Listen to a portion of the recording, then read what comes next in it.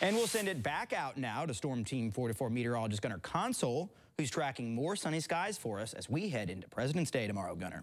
Yeah, so that's exciting. We've dealt with a cold weekend. At least we get one day out of the three-day weekend that a lot of us will be able to enjoy with the warmth and the sunshine.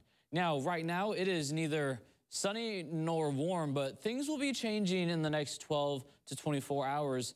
Just take my word for it. Right now, we're taking a look over the north side of Evansville, you can see the Lloyd Expressway. We're dealing with not too much traffic as people are mostly now hunkering down in their homes for a good night's sleep, hopefully enjoying and looking forward to that extra day off. Now, looking over downtown Evansville, we're dealing with quiet conditions, barely a cloud in the sky, and clear and calm conditions allow temperatures to drop pretty good.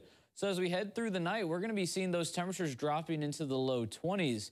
So things are going to be cold, but not nearly as cold as last night. I noticed my heater was definitely struggling to keep up and keep my apartment warm just because we dropped into the 16 degree mark last night. Not nearly as cold, but still on the chilly side.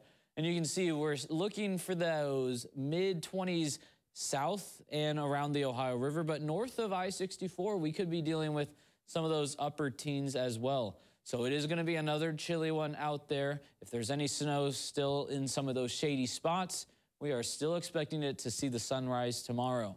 Now, walking the dog, though, not going to be dealing with too many issues. As you sleep in and look forward to walking the dog a little later, we're going to be dealing with temperatures in the mid 30s, lots of sunshine, and we are going to be dealing with temperatures that are very comfortable, not just because it's warmer than it was, it's also very calm winds, and without much wind, 30 and 40 degrees actually doesn't feel all that bad.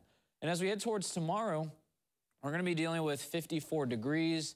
Winds are only around 5 miles per hour. So with calm winds, you can find a spot in the sun for your lunch and actually enjoy it without feeling things being on the chilly side. So we got a nice forecast tomorrow. But if you do try to take advantage of the warmer conditions, you are going to want to maybe go on a walk or go on a hike south of I-64, south of the Ohio River. That's where we're dealing with those 50s. The 40s are going to be stubborn towards the north, and they are going to hold out through the afternoon. But you'll also want to get those plans done before 4.30, because as we head towards 4.30, we're still seeing those 50s but by the time 530 rolls around, we already see those 40s rolling back in the picture. Same with those 30s.